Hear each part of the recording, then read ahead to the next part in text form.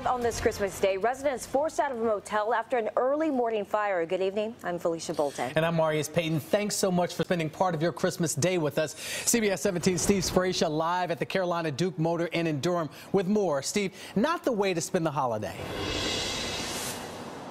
Certainly wasn't. It was a very intense fire, too, Marius. What's left of this chair would indicate just how intense those flames were. But despite the ferocity of the flames, a firewall in the apartment actually kept it from spreading to adjacent units. However, there was smoke damage in two of the other units. All in all, a very frightening wake-up call for some residents.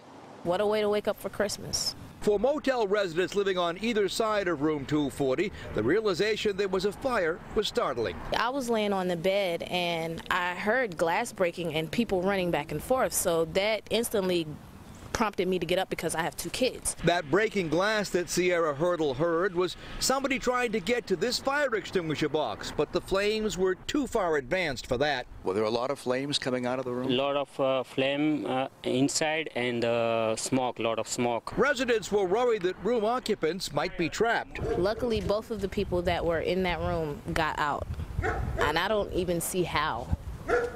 While the fire was raging, the manager said he helped make sure that nearby rooms were evacuated. I give to my pass key and open the, all the rooms and tell the people go away. Fortunately, there were enough vacant rooms at the inn so that nobody was without a place to stay on Christmas Day. As to what caused the fire, Durham fire investigators say they're still looking at that and may know in a day or two. Reporting live, I'm Steve Sbraccia, CBS 17 News.